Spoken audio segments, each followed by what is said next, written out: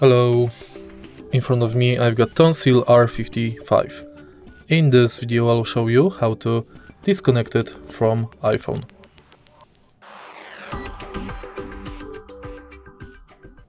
In the beginning, go to Bluetooth settings on your iPhone and go to Tonsil R35 settings. Select disconnect or forget this device.